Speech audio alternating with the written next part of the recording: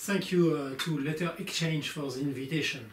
This, this talk was planned uh, in, um, in early 2020, but because of COVID pandemic uh, we have uh, all over the world, it's postponed to um, a video version available on the web. So I'm very happy to deliver here from uh, the library of Typofonderie where I have all my books around me uh, not a place where I actually work with another, another room at the foundry.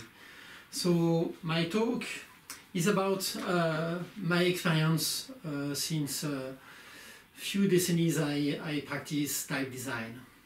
And I'm happy to deliver it to you tonight. Analog to digital. I'm so old that I'm part of these people who have learned to design typeface around 87, 90 using tracing paper as well various analog techniques. Good eyes as well good hand was crucial. At the time, few days were necessary between the design of the letter forms and the ability to actually be able to judge your design on the small sample of text set by hands.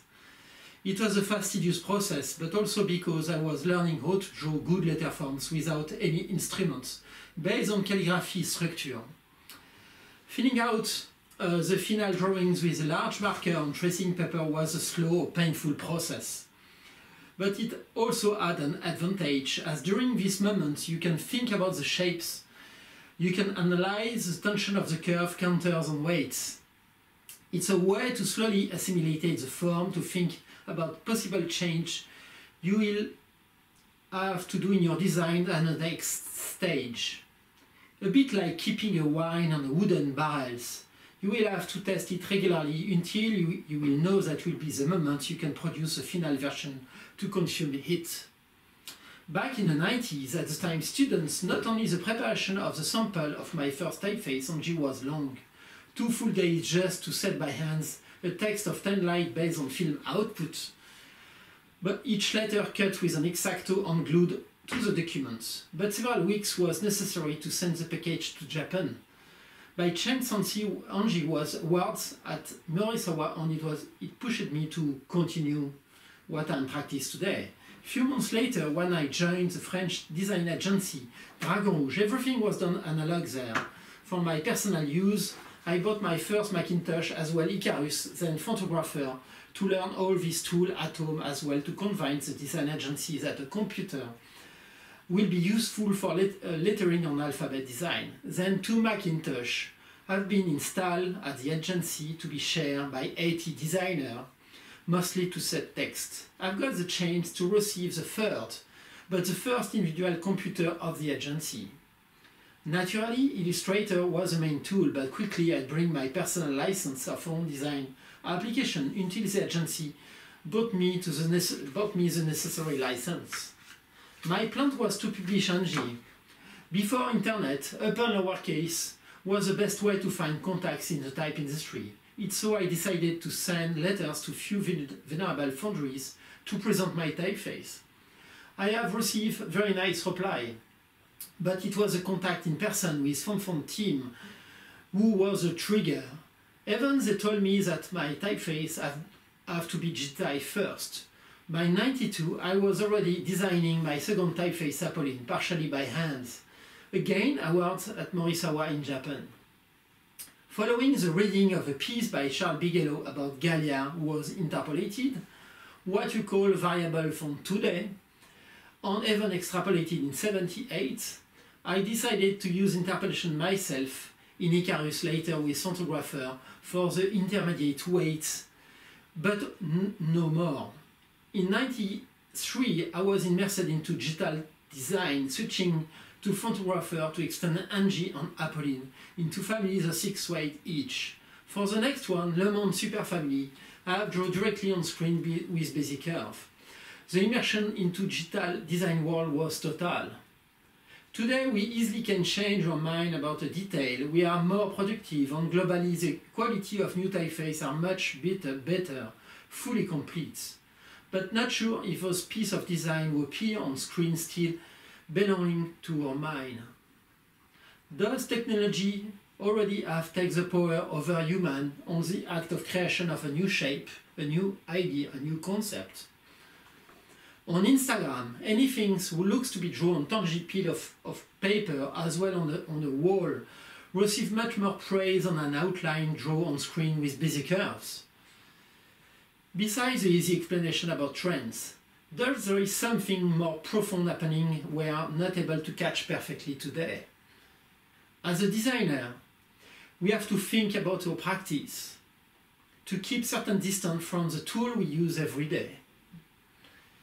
Nothing is there for the rest of our life. The way we design today will be probably change will probably change in the next decade.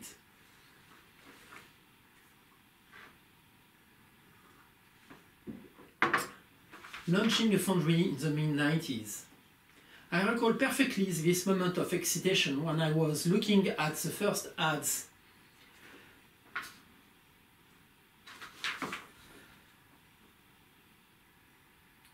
I recall perfectly this moment of excitation when I was looking at first ads on upper lowercase for independent foundry in early 90s. Stone Type Foundry, Carter & Cone, Alpha Ben Corporation, Font Bureau. It was a way to understand that something was happening, as well as the first type issue in iMagazine. So launching a, an independent foundry in France it was my dream, with the objective to gain independency on statutes. You have to recall that in early 90s, font market was mostly the old stuff quickly digitized on one side. The other side, few pioneers, then the free fonts, the grunge fonts, the monolithic modular fonts too. Selling fonts via fax order together a tangible credit card machine as well sending floppy disk by post was all we doing business at the time. To reach new customer before the internet, on social media. The only way was to send printed specimen by post, collecting few postal address in design annuals. Going to Thai conference such as ATypI was another good way to meet the industry, as well to share type specimen with others. Besides these, and expensive ads, nowhere to be discovered at the time. With internet, suddenly it was possible to reach more customers. In 96, I've got my first 50, 50 56k modem connection with few months later. And few months later, in 97, I have set up a website under the purchasetypo.com hosted on John Huston server in Canada. Soon switched to typofonderie.com. Fabulous way to present the typeface even in somewhat low resolution. Setting up a simple form to let people order the fonts they wanted to receive the order by email, et voilà. For sure, credit card payment was still a manual process, a dedicated tangible machine together with a phone or fax, but direct download and secure payment was up two years later. I still recall the first month of sale via this new system, 20 times more purchase and with a simple radio button based form. In early 2000, it was a moment of large development of font market due to my font launch in 2001 on accessible way to launch your own e-commerce system. At this precise moment, everything was in place for the revolution of type design. In addition, everything was in place for the revolution of type design. In addition to the existing mailing lists from the 90s, form like Typophile was also a crucial step to have the community in continuous contact between type conference. Companies like Adobe, Microsoft were working with the community on small foundries to set up high standard. Even colleagues inventing portable font format such UFO, and later WOFF, now de facto the web font format, thanks to Leming, Erik van Blokland and many others at the time. Today our micro industry is more solid than in the 90s. Type conference, tangible and online communities, easy way to reach customer because of e-commerce and so social medias. Large companies now understood the value of having their own best bespoke typeface, family, and so on. Our small industries has become a multi-form professional sector this day. But be sure of one thing, our type world will transform again.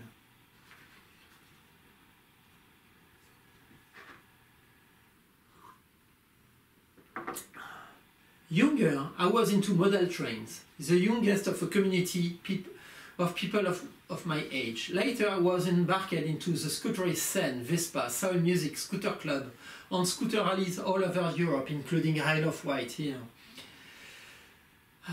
I have learned something important at the time. Sharing your passion in a community helps you to learn from each other. More you share, more you're getting stronger in contact of others. So entering in type world was very natural. It was very natural to join non-profit organization to see what I, I will be able to do for the community. In 1989, I joined the Rencontre Internationale de Lure, launched in the 50s by people like Maxime Vox, Roger Excoffon, and so on, as well Association Typographique Internationale soon after. In 89, I've got the chance to meet Matthew Carter in Urian-en-Provence, as well many of the French old guard such Ladislas Mandel. In the 90s, I was in charge of the organization of one special day dedicated to type design in context of the Rencontre Internationale de Lure. I invited Sumner Stone, Maxim, Maxime Zhukov, and others to speak at a ATypI Reading Conference in 97. I was nominated French delegate on the Other of Life cause association annual conference to be scheduled in France the next year.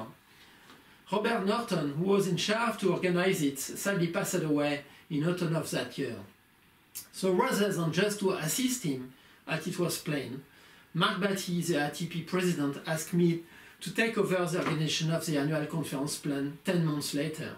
In the time selecting the venue, building the entire program, designing the identity and so on. Crazy but fabulous experience made possible uh, because of the internet.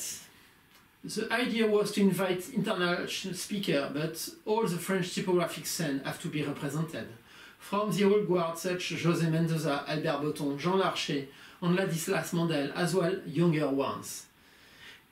It's at this moment that I've launched the publication of called Lettres Françaises to bring together all digital typeface published up to 98. Some things looks impossible this day. There is simply too much typeface. Following a ATypI Lyon 98, the question was how to continue make this community growing locally. As graphic design publication in France showed no interest on this new micro industry uh, called type design, one idea was to inform people about the new French uh, French font and typography via our com community, your online community um, website. To get new clients, it's crucial to build an environment to share knowledge, good practice, ethics, and even eventually helping people to be your competitor in the future. In contact with Dean Allen, the Canadian typographer who launched the new blog system called Textpattern, I've got just the chance to use this new tool to launch typograph.com in 2003. My model was a mix of typography for the blog, handled by a small dedicated group, and typophile for the forum, a place where can, people can discuss about type design as well typography in general.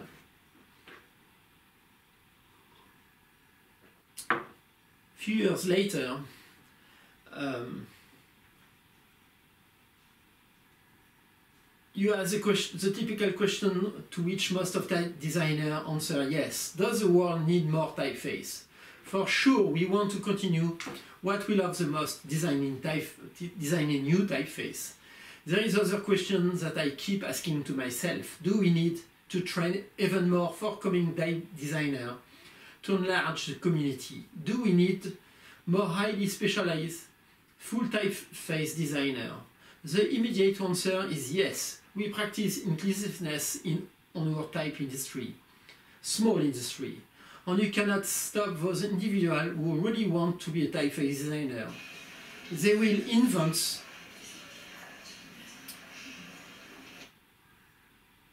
they will invent their own path, learning alone or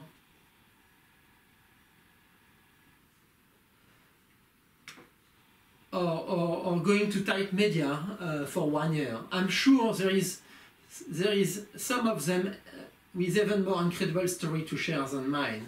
But I have the feeling that there is a target group we ignore completely. We don't need another hero such Hermann Zapf or Adrian Frutiger.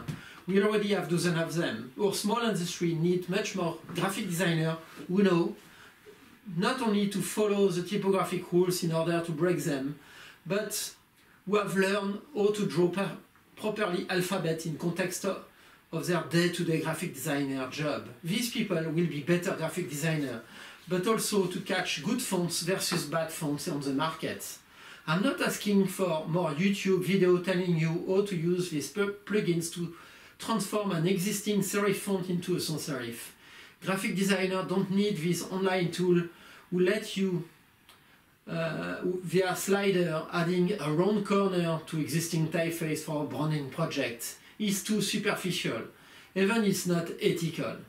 I'm advocating, advocating for course, a bit in the same vein as this lettering workshop conducted by Martina Flor, Ken Barber, and other wonderful designers who teach people to use their hands and brain.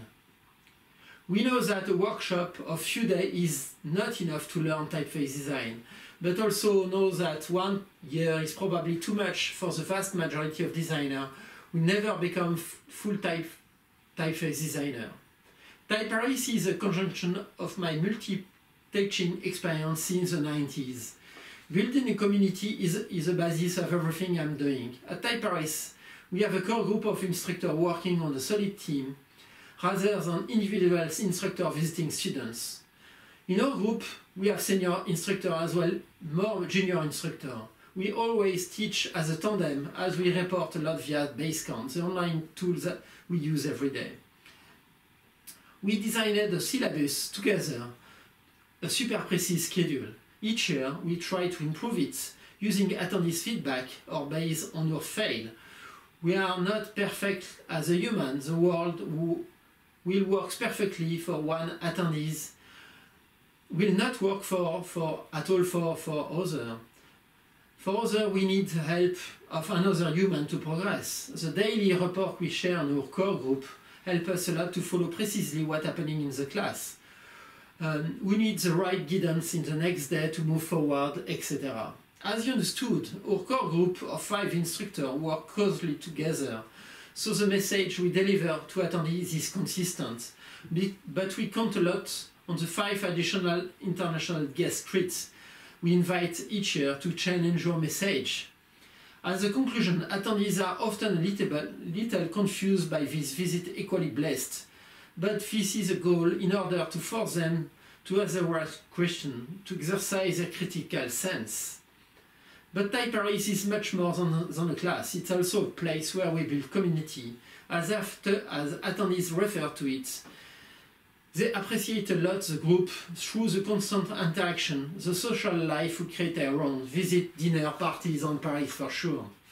The TP Talk we organize freely to open to the public together, the guest critic, the type critic of the week together with the graphic designer, uh, art director, user of typography.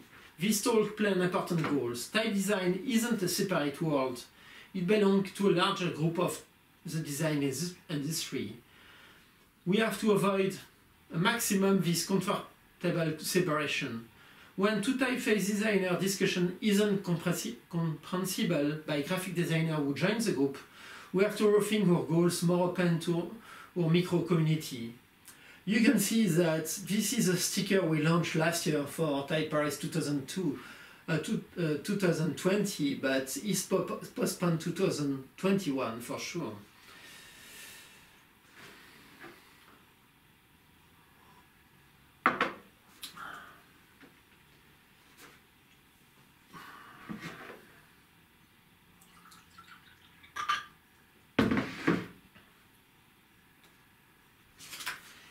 History show different style depending the country of Europe where the typeface was designed. But this doesn't make an absolute truth about the necessary necessity to fully different to have fully different typeface style depending the country. As example, Bodoni as well Didot are similar in style. One designed with founding of Italian monarchy uh, in Italy, the second during the French Revolution, as Today, we can expect fashion brand never selects Didot for his revolutionary tone as well monarchy reference for Bodoni. What makes typeface more suitable to certain use is the context since the beginning of graphic design. What makes them both a typical typeface for fashion industry is that Bodoni and Didot are used in fashion magazines all over the world since the 20s. So maybe the historical reference have an influence, but first is their use who create typeface association. When you work for clients, connotation play major role, but you have to teach your clients to understand how to analyze the typographical reference to bring to them. You have to push your clients outside of their comfort zone, such as, I want the same typeface as my competitor. Indeed, the clients rarely come with a precise idea of what, we, what he wants. In fact, designing a typeface for a purpose isn't so different than building an identity for a company. Maybe you have another layer with uh, historical knowledge of typography, typeface and connotation, especially for clients like Louis Vuitton, Yves Saint Laurent, Botte, Galeries Lafayette. One of the first things I always ask, do you have archive in your company? It helps to start a new design from their roots, to pick up on their archive what can make them different and genuine. Always better to build a typographic identity from genuine history rather than just to follow the global trends we end up to something similar and boring. Or the shape of letter of, of letters conveying concept isn't an easy thing to understand. It's all about culture, art, history, perception. Historical reference and analogy are great tools to explain. In case of Le Monde, the story was a bit different. Everything started from my side with a letter to the editor in 1994 suggesting him that a new typeface can help the newspaper better. The first idea was to explain to the editor. There, there was no art director working at Le, at Le Monde at the time. That I, I was explaining that the typeface they will, they, will, they, they, will, they, they should use follow their vision oh, or a center-left French newspaper can use a typeface made for an English conservative newspaper with pro-monarchy. It worked very well.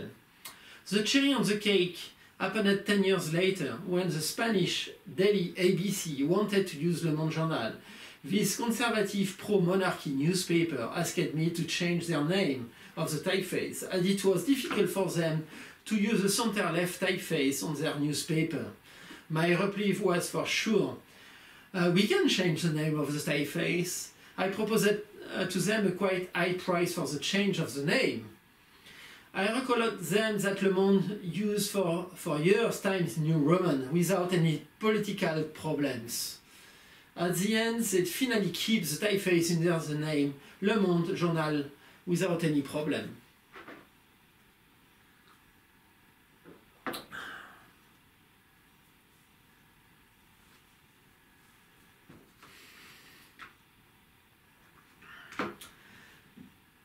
Started from a simple private message on Twitter in February 2017, they approached me to design a message to support Emmanuel Macron campaign.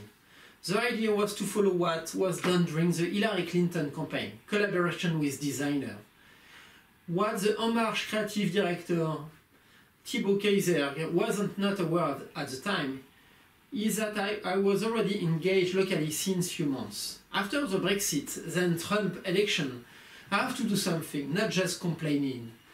JFK advice was the best option for me. My fellow Americans, ask not what you, your country can do for you, ask what you can do for your country. The outcome was, was just a sticker because it was late on the campaign, but the design was the basis of a larger project.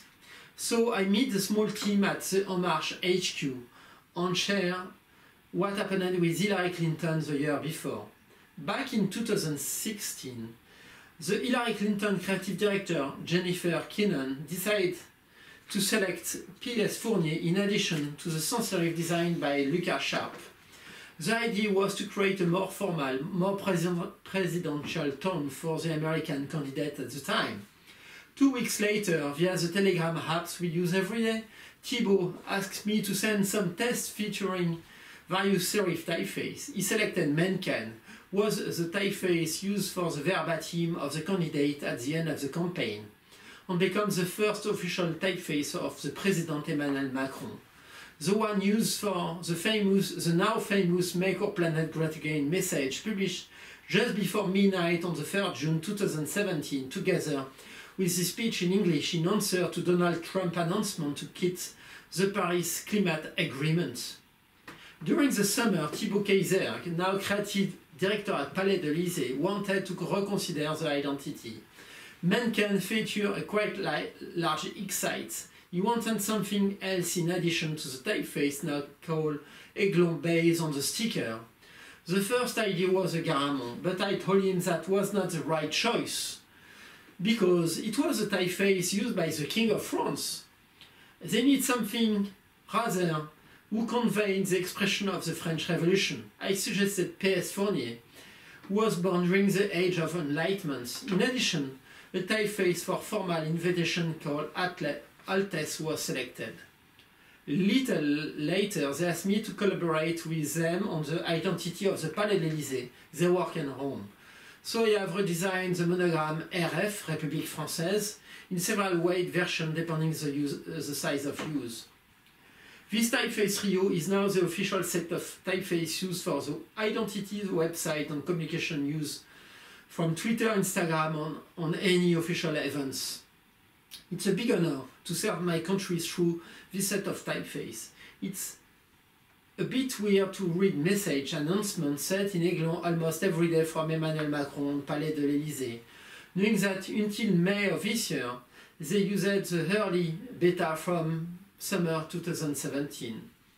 With my team of Typo, uh, at Typo, Typofonderie, we finished Aiglon already. Launch is, is planned probably next year at Typofonderie, so I'm pleased to show you the current state of this large project.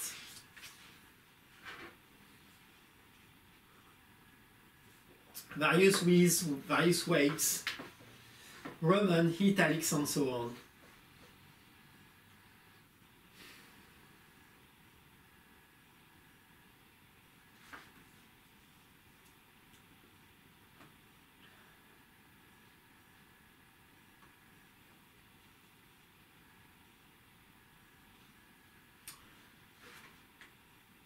As a practitioner, we are all influenced by our direct environment.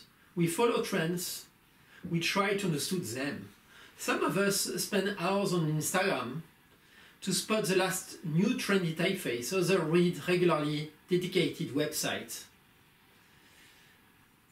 A small um, update problem on my computer, so I have to restart this new chapter.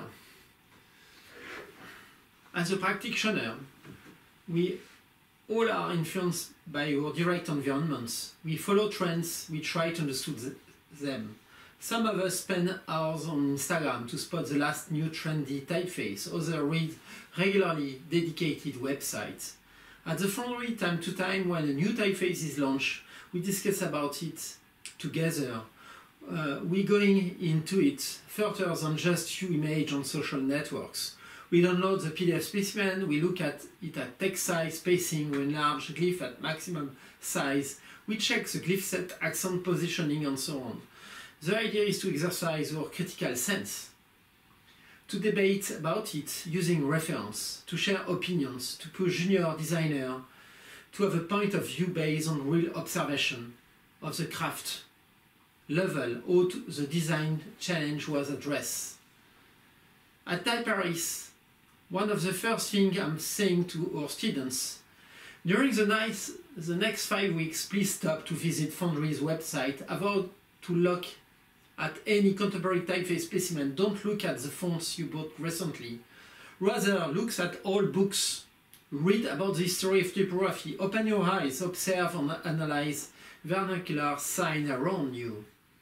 In any case, Avoid the uh, it's good because it's the last typeface by this trendy designer. Ideas came from your own internal creative process, historical reference. Ideas, ideas should never came from a recently published typeface that you fall in love as a designer. Building a critical eye is much more important than to be on the trend by copying others. When we start a new typeface, we have to escape any external influence from contemporary design.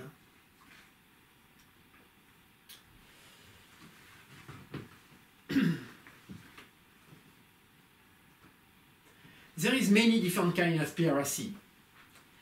It starts by a guy who wants to discover how you've designed your typeface but will never use them. There is this 200 designer staff agency who bought one seat license and install this font on every computers. There is this internet forum where people share movies, porn and fonts. There is this trendy designer who stole your outline, changed few points and to publish a crappy new trendy typeface. All of them need different answer. The most important thing about PRC remains to explain what is a good practice to young designer, user of font as well, type designer. A user of an illegal font kills the client's acquisition strategy. For sure, at short term, is able to charge less his clients against his graphic designer competitors. But at long term, he destroys the value of what make good design, the designs that sell to make a living, as well for people around him. He misses the opportunity to build his ecosystem. Steven Heller is very clear about type designer bad practice. Stealing a font or tweaking an existing font or calling it yours on is much easier. So don't be this guy who produce work based on that of another. You will kill your own reputation. You will give argument to excuse user piracy. Revivals. Working on the typeface revival means that you should be intent to compare the historical source with contemporary interpretation from your colleagues. Never. But what, what is the definition of a revival? Let's say that if you you've based on a new design from a book set in Antoine Augereau type from um, 1531, it's a revival. What happening if your reference is original punched straight on an, in a national library? Then if your basis is a printed specimen of famous grotesque from the early 60s, or if your reference came from the digital world, such as Adobe Garamond. Let's go further. Your own design based on Antoine Augereau type is finally published. Type critic will comment it. Some will say it's a beautiful revival of French typography. Some other will say that they prefer the revival of the same source by someone else. During the design of Galliard, Matthew Carter and Mike Parker came to the, to the conclusion that the perception of a style is subjective. It, it must be assimilated and recreated as a whole. About revivals, Jonathan Hoefler explained in an article on Wired by Steven Heller, we explore the idea behind a collection of physical artifacts and interprets them as a family of digital fonts. Heller explained, well the process, Hoefler teams deconstruct a reference typeface. Study the elements that makes its letter form unique from an aesthetic or structural standpoint, then reassemble it in a unique way. Thus, there is a criteria to judge if a typeface is revival or not. Back in 2001, submitting my Ambroise to Bukva:raz competition organized by Maxime Zhukov at ATypI, I've checked the, the option revival. I was told by the jury that Ambroise was not a revival. Later, following the launch of my Sabon Next by Linotype, I recall this comment by John Berry, saying that more you close to the Roman, more you feel Jan Tschichold on the style, more you close to the black, more you feel my, my style. Since years, in book about typography, Trajan Capital are the absolute reference of what is a Roman inscription model. Why this model with large R, serifless M on N and not other model with serifed M, N on smaller R? Each year, I'm visiting the Musée Gallo-Romain uh, in Lyon because of the Type Paris field trip. There is much more variety than just the Trajan Capital model. Same in Italy, where I was for 15 days in 2018. So many different styles, different proportions. I ask the question, why Trajan should be the absolute model, why others are almost in Europe? How to ju judge that a re revival is better than other one? Based on what? Your own knowledge of the existing source? Maybe you don't know perfectly all the source. Maybe you have in mind many other revivals of the same genre and you compare this new revival to them. Why suddenly uh, one will be better than other? Okay, let's say that this new revival shape are more clean. Maybe too perfect? Or maybe you feel the style of the contemporary designer behind that, um, that will have a direct influence on your verdict. Recall how subtle Imperfection of ITC Bodoni 6 Point by Sumner Stone published in 93. At Textiles, it's suddenly more legible than any other Bodoni available in Type from the catalog at the time. It was a move forward on the redefinition of what is a Bodoni revival. As we are not alone on this room, I will share my opinion with you about two beautiful typefaces. I like very much Adobe Garamond when it was published in 1989, but I feel it too soft, too round, too wide, more close to older Italian models than the French one. Two years ago, three years ago even, at Cooper Hewitt Museum, uh, when I've seen the italic of Eldan, I was not able to feel the Frenchness of his revival of Renaissance type. This indeed doesn't mean that I don't like the design of Eldan by Chris Worsby. With these two examples of I designed by two world masters, I just want to point that nobody have a definitive answer. As you can judge, my appreciation of these two typefaces is personal, and my closet friends even not agree with me. In fact, a revival is a highly subjective topic, almost impossible to judge in a Cartesian way, especially because nobody can be sure which source is really cut by Claude Garamond or William Caslon. Maybe it's better to call, to call such classic a genre. It doesn't make more sense to say, let's design a new typeface in the genre of Bodoni. To come back to the roots, where to strictly draw the line between what is acceptable and what is not acceptable as a source to create a new typeface. Back in 2003, John Downer on Call It What It Is, essay published by Emigre, you refer to Paul F. Gill talk at ATypI the year before as an attempt to describe what is revival. Let's, let's just resolve not to call them historical reproduction, recutting, or even redesign. Unless we intend to just do that, reproduce a type that works like the original. You have to recall that Hermann Zapf suffered a lot from the pirated version of many of his typefaces during the phototype era, more recently with Book Antiqua, a pirated version of Palatino sold by Monotype to Microsoft, until it was resolved 20 years later with a genuine design Palatino explained by Zapf and sold by Linotype to Microsoft.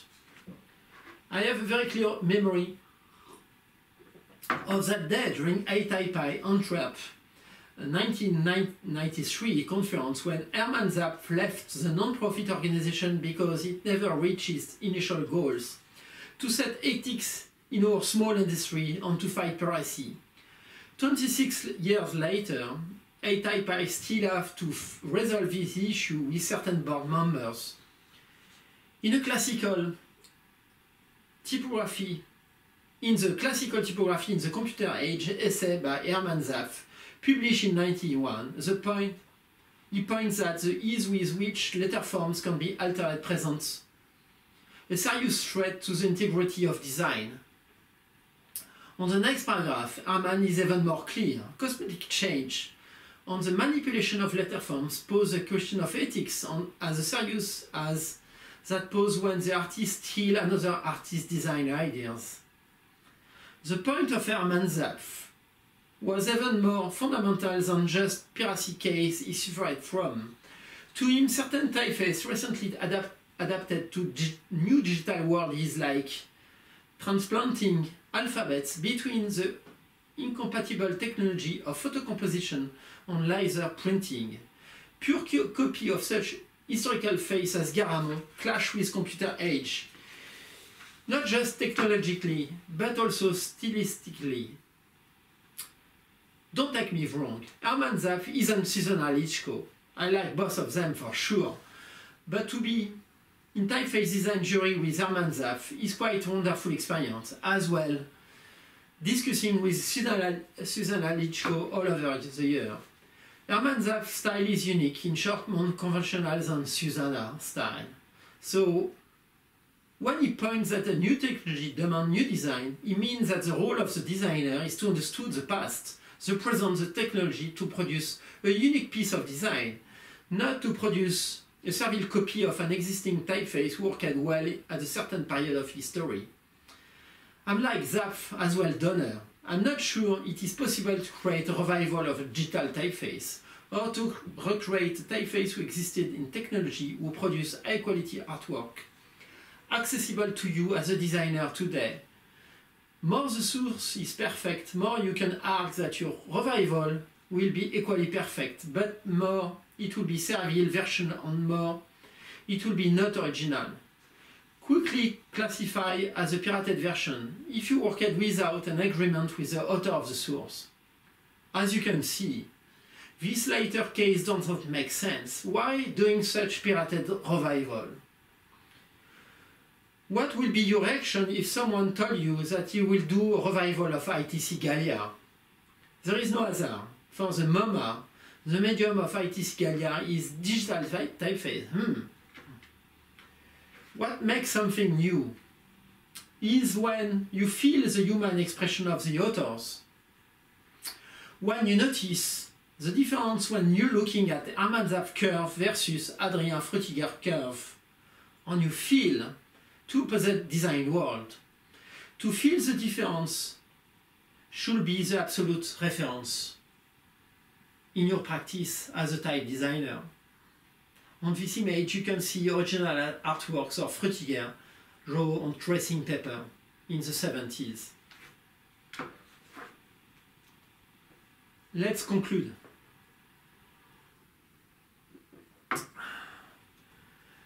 With this is this imaginary young designer asking about the best attitude regarding designing new typeface.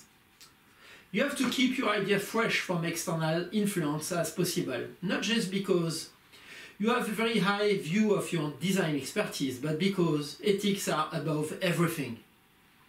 No shortcuts, no opportunism, no surfing on the genre. And don't open the door to imitation of others. You don't need that as a professional. The originality of your design and the copyright protection attached aim to valorize and secure your own work. One of the main issues for the future is to what extent the dominant position company, which position is to favor open source, will respect ethics as well copyright and truth, the creativity and diversity. The situation up today is upsetting, and you, young designer, will have to fight for your own rights in order to valorize and protect good design. Imitation starts when you feel insecure of your capacity, but the result effect is even worse, as you compensate your insecurity by copying even more other. When you copy to imitate the master, you stop to exercise your critical eye. You simply refuse to learn how to see. You prefer easy money. You lose your soul, you destroy the industry. You, you offer good argument to certain worldwide company who launch copycat version of every genre, every recent success.